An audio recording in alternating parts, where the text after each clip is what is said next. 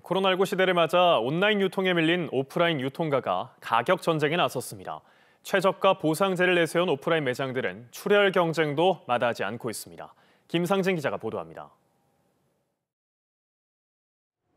지난해 백화점, 대형마트, 전통시장 등 오프라인 유통가에는 발길이 뚝 끊겼습니다. 소비의 주도권은 온라인으로 넘어갔고 온라인 매출은 사상 최초로 오프라인을 넘어섰습니다. 하지만 올 봄부터 백화점과 대형마트의 매출이 회복세를 보이면서 다시 한번 소비 시장이 흔들립니다. 오프라인 업체들은 지금과 같은 가파른 회복세를 이어나가기 위해 셀이나 이벤트 행사로 발길을 잡는 데 주력하고 있습니다. 이마트는 14년 만에 최저가 보상제를 도입했습니다. 가장 큰 경쟁 상대는 온라인 최강자 쿠팡입니다. 500개 품목에 대해서는 쿠팡보다 비싸면 보상하겠다며 선전포고했습니다.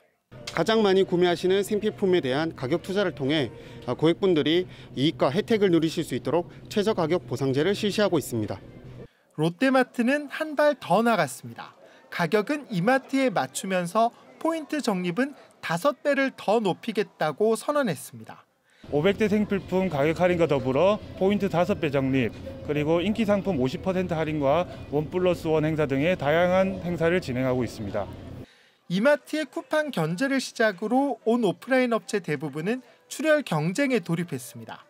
유통과 최대 성수기인 5월을 앞두고 주도권 선점을 위한 포석으로 보입니다.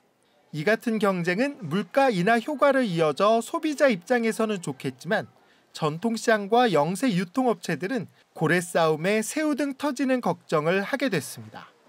KNN 김상진입니다.